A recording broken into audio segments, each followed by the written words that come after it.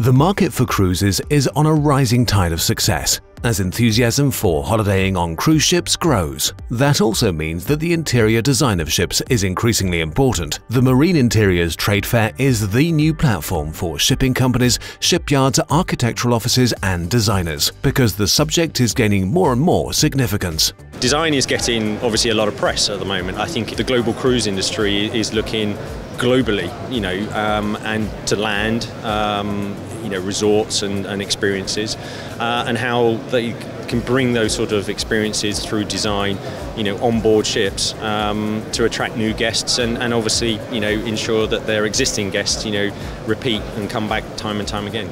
The art of interior design on ships is finding a furnishing style for cabins, restaurants and lounge areas that appeals to a broad public and yet also fulfills the special safety requirements on board a ship. Safety first. Safety, of course, of all souls on board, both guests and crew, is absolutely paramount. There's nothing that would ever disrupt that. And so design has to find its way around to ensure that it meets those rules, remains compliant, but at the same time you know, has an environment that's inviting for the guests, uh, and they don't really see those things that are perhaps behind the scenes that are keeping them safe, and that if there is an incident, um, that obviously the vessel performs as, as it should do, uh, and all they've got to worry about perhaps is um, uh, is choosing the next drink from the bar menu.